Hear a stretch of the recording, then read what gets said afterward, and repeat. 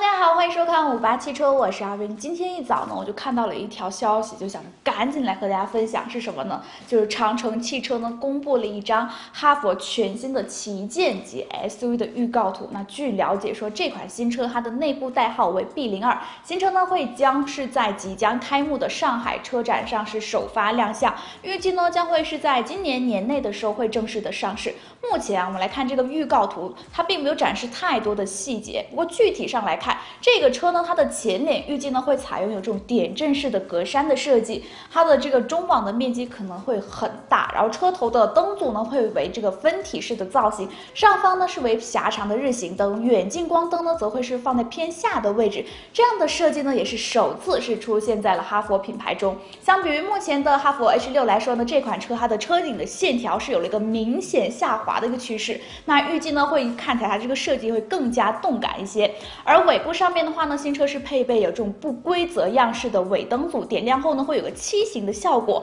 有着一个不错的辨识度。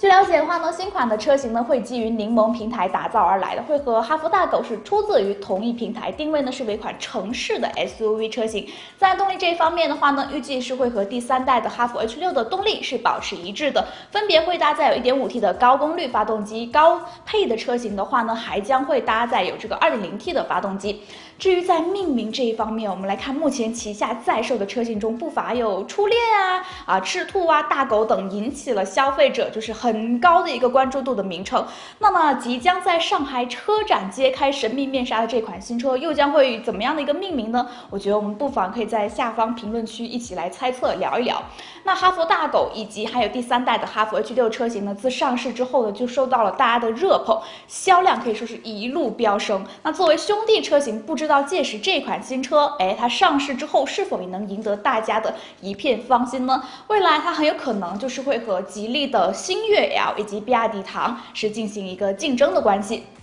现在呢，哈弗它的主销车型是为呃 H 六，呃，在它之上是缺少了一些同像 H 六这样走量的产品。那这一款新车的发布，就是将会继续是向上探索这个市场。而关于这一款新车，它到时候的更多设计、命名以及在动力这方面等等的信息，我们也将会持续关注，第一时间为大家带来报道。所以对于这辆新车感兴趣的朋友们，不要忘了要持续关注我们五八汽车哟。